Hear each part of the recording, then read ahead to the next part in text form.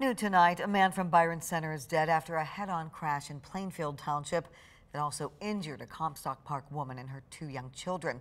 27-year-old Joey Jackson was heading west on West River Drive when he lost control, crossed the center line, and crashed into an SUV. Jackson was pronounced dead at the scene. The woman driving the SUV and the two children were taken to the hospital.